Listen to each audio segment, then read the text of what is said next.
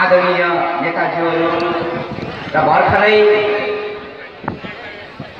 विखण्डनकारी देशद्रोही जात जाति बिचमा द्वन्द्व ल्याउने सबभन्दा यो देशको अहिले सबभन्दा नपक्षरूपाची एमाले र यो देशको राज्य सत्ताको कारणले गर्दा शहादता प्राप्त गर्नुभएका सप्तरीका वीर मधेसी शहीदहरूका आदरणीय परिवारजन र यो श्रद्धाञ्जली सभामा उपस्थित सम्पूर्ण सङ्घीयवादी मधेसवादी दाजुभाइ दिदीबहिनीहरूमा मेरो व्यक्तिगत तर्फबाट र म आफन्त सङ्घीय लोकतान्त्रिक राष्ट्रिय मञ्च सङ्घीय लिम्बुवान मञ्च नेपालको तर्फबाट सादर प्रणाम गर्न चाहन्छु जय लिम्बुवान भन्न चाहन्छु र म यहाँलाई भन्न चाहन्छु।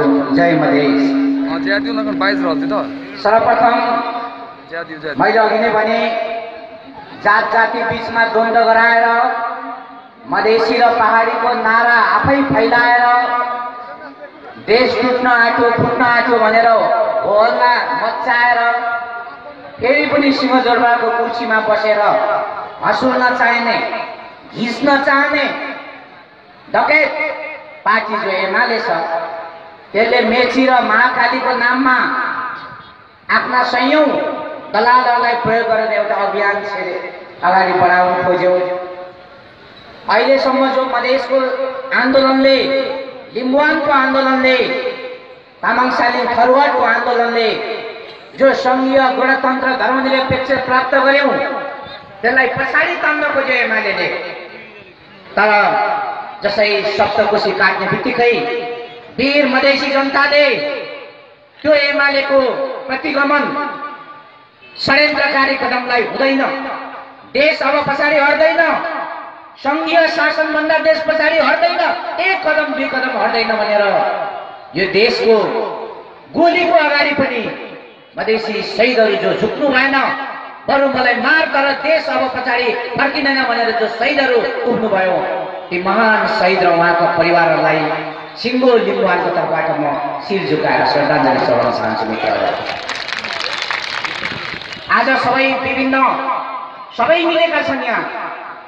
हामी मधेस हामी लिम्बुवान कमवान तामाङ सालिङ शेर्पा हामी पनि मिल्दैछौँ अहिले भयो हामी पनि मिल्दैछौँ र हाम्रा विरोधीहरूको बसेको चुनाव चिन्ह फरक होला नाम फरक होला। उनीहरू पनि मिल्दैछ आज। दुई ग्रुप। सङ्घीयवादी र सङ्घीय विरोधीहरूको बिचमा चलिरहेको छ। र सबै मिलेर सङ्घीयतालाई खतम गर्न मधेसलाई सिद्ध्याउन लिम्बालाई सिद्ध्याउन एउटा ठुलो अहिले षड्यन्त्र भइरहेको छ। मलाई त कस्तो लाग्यो भने भगवान् रामको याद आयो। हाम्रो किराँतीहरूको भगवान् फाल्गुनन्दको याद आयो। भगवान् जिसस क्रिस्टको याद आयो। भगवान् भगवान् पैगम्बर मोहम्मद बुद्ध भगवान्को याद आयो जसले पाप अत्याचार बढ्दै गएपछि समाजमा एउटा महापुरुषको जन्म लिएर त्यसलाई रोक्नु भयो। ठुलो षड्यन्त्र जो मधेसमा सयजनाभन्दा बढी शहीदहरू भइसक्नु भएको छ त्यो सबै आन्दोलनलाई यसबाट खतम गर्ने यो स्थानीय चुनावको षड्यन्त्र लिएका छन्। यिनीहरू लगभग लगभग सफल हुन आँटिरहेको थिए। तर हाम्रा यी पाँच छजना मधेसका वीर शहीदहरू उत्रनुभयो आफ्नो शरीरलाई उहाँले बलिदान दिनुभयो आफ्नो रगत धरतीमा पकाउनु भयो र निश्चित भयो अब हाम्रा एमालेका साथीहरूको हाम्रा कङ्ग्रेसका साथीहरूको हाम्रा माओवादी साथीहरूको षड्यन्त्र अब शहीदको रगतको कारणले अब सफल हुनेवाला छैन। तपाईँ हाम्रो जित मित्र तिनै महान शहीदहरूलाई फेरि म एकचोटि शिर झुकाएर म श्रद्धाञ्जली अर्पण गर्न चाहन्छु मित्रहरू। ताप्लेजुङ जिल्लामा पाङथर जिल्लामा इलाममा धनकुटामा तेर्तुङमा झापा मोरङ सुनसरी सभा सिङ्गो देशमा तपाईँ मधेसी जनतालाई मन पराउने हामी जस्तो धेरै लाखौँ लाख मान्छेहरू छौँ आज सिङ्गो यो श्रद्धाञ्जली सभा यहाँ मात्रै होइन। आज पाँच ठाउँमा भइरहेको छ ताप्लेजुङमा भइरहेको छ धनकुटामा भइरहेको छ दमकमा भइरहेको छ। अब जो शहीदहरू यो तपाईँको छोरा हुनुहुन्थ्यो। सप्तरीवासी हुनुहुन्थ्यो होइन अब। देशको शहीद हुनुभयो देशको सम्पत्ति हुनुभयो उहाँहरू। मैले यहाँलाई भन्न खोजेको तर जसरी तराईमा मधेसमा तपाईँलाई दमन गर्दैछ लिम्बुवानमा हामीलाई पनि दमन गर्दैछ। शेर्पामा पनि दमन गर्दैछ तामाङ सबैजनाले दमन गर्दैछ। तर आदरणीय जनताहरू यो दमन एक दिन टिक्ने वाला छैन। एक दिन न एक दिन हामी लिम्बुवान मधेस कमवान सबै मिलेर यो राज्य सत्तालाई एक दुई तिन उल्टाएरै पश्चिमलाई ध्वस्त गरेरै नयाँ हाम्रो सङ्घीयवादीहरूको एउटा सत्ता स्थापना गरेर छोड्छौँ म यहाँ उद्घोष गर्न चाहन्छु। र म फेरि भन्न चाहन्छु मित्रहरू जो हाम्रो शहीदहरूमाथि के हो यो? प्रधानमन्त्री भन्छ गोली हाल्ने आदेश छैन। गृहमन्त्री भन्छ गोली हाल्ने आदेश छैन। त्यसो भने यो देश कसले चलाइरहेको छ त? हामीलाई यसको उत्तर चाहियो। प्रधानमन्त्रीले भनिरहेको छ गोली चलाउने आदेश छैन। गृहमन्त्रीले भनिरहेको छ आदेश आदेश छैन। कसले चलाइरहेको छ देश।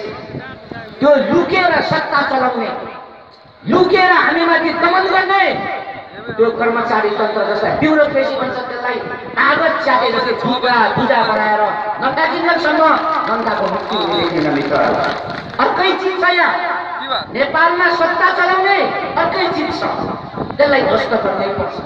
जसलाई हामीले स्थायी सत्ता भन्छौँ जसलाई कर्मचारी तन्त्र भन्छौँ यसलाई ध्वस्त गर्नै पर्ने हामीले आवश्यकता देखाउने पर्छ र आज एमालेको साथीहरूले जसरी देश बनाउँछौँ भन्दैछन् देश बनाउने होइन।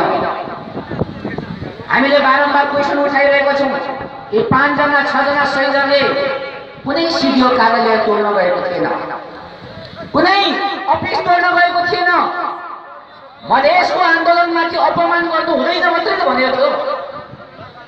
एमालेको साथीहरूले आफ्नो कार्यक्रम रोक्न आह्वान भएको थियो।